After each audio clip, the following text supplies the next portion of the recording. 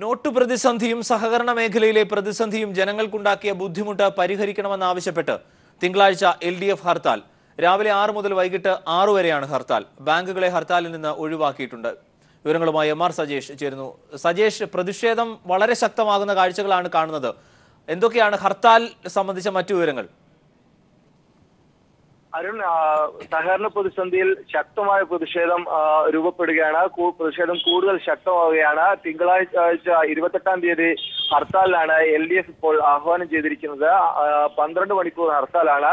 രാവിലെ ആറു മണി മുതൽ വൈകിട്ട് ആറു മണി വരെയാണ് തിങ്കളാഴ്ച ഹർത്താൽ. ഈ ഹർത്താലിൽ നിന്ന് പത്രം പാൽ വിവാഹം തുടങ്ങിയ കാര്യങ്ങൾ ഒഴിവാക്കിയിട്ടുണ്ട്. അതിനോടൊപ്പം പ്രധാനപ്പെട്ട കാര്യം ബാങ്കുകളുടെ പ്രവർത്തനത്തെയും ഹർത്താലിൽ നിന്ന് ഒഴിവാക്കിയിട്ടുണ്ട്. ബാങ്കുകളുടെ പ്രവർത്തനം സാധാരണഗതിയിലാവുന്നതിനുള്ള സാഹചര്യം ഒരുക്ക ഒരുക്കാത്തതിൽ പ്രതിഷേധിച്ചാണ് ഈ ഹർത്താൽ അഞ്ഞൂറ് രൂപ ആയിരം രൂപ നോട്ടുകൾ പിൻവലിച്ചതിനെ തുടർന്ന് വലിയ ബുദ്ധിമുട്ട് സാധാരണക്കാർ അനു അനുഭവിക്കുന്നു. അതിനോടൊപ്പം തന്നെ സഹകരണ മേഖലയെ തകർക്കാനുള്ള നീക്കങ്ങളും നടക്കുന്നു. ഈ രണ്ട് കാര്യങ്ങളിലും പ്രതിഷേധിക്കുന്നതിനാണ് സംസ്ഥാന ഹർത്താൽ എന്ന് L D F convenor Vaikom Viswan ഇപ്പോൾ പുറപ്പെടുവിച്ചിട്ടുള്ള വാർത്താക്കുറിപ്പിൽ പറയുന്നു വലിയ തോതിലുള്ള പ്രതിസന്ധി സഹകരണ മേഖലയിൽ നിലനിൽക്കുന്നു. കഴിഞ്ഞ ദിവസം നിയമസഭ ഇക്കാര്യത്തിൽ പ്രത്യേക സമ്മേളനം ചേർന്ന് പ്രമേയം പാസാക്കുകയുണ്ടായി. ആ പ്രമേയത്തിന്റെ അടിസ്ഥാനത്തിൽ സർവകക്ഷി സംഘം പ്രധാനമന്ത്രിയെ കാണണമെന്ന് ആവശ്യപ്പെടുകയും പോകാൻ തയ്യാറെടുക്കുകയും ചെയ്തു. എന്നാൽ പ്രധാനമന്ത്രിയെ കാണാനാകില്ല. ധനമന്ത്രിയെ കണ്ടാൽ മതി എന്ന തീരുമാനമായിരുന്നു കേന്ദ്രത്തിൽ നിന്നുണ്ടായത്. ഇതിൽ പ്രതിഷേധിച്ച് അഖിലകക്ഷി സംഘം ദില്ലിയിലേക്ക് പോയതുമില്ല